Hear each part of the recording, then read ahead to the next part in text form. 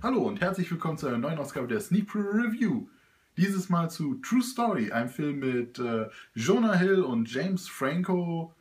Ähm, ja, Jonah Hill spielt einen Journalisten, der äh, am Anfang des Films in Afrika recherchiert und äh, das anscheinend im Auftrag der New York Times.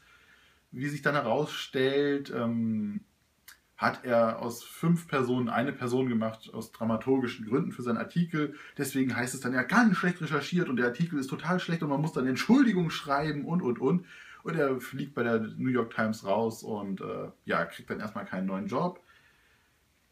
Denn äh, taucht da eine zweite Person auf, die denselben Namen benutzt und auch sagt, sie wäre Journalist, aber irgendwie woanders. Und dann kriegt man mit, okay, ist ein gesuchter Verbrecher.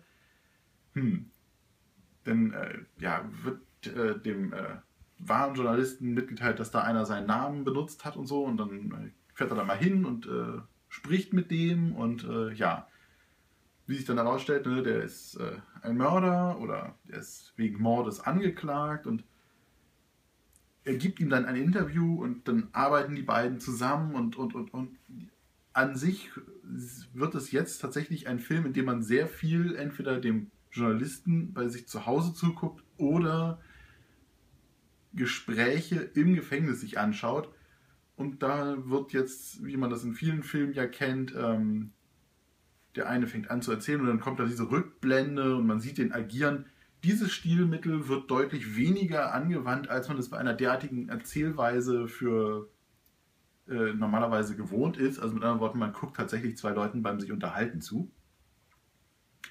Ähm, das macht das Ganze dann auch relativ langweilig.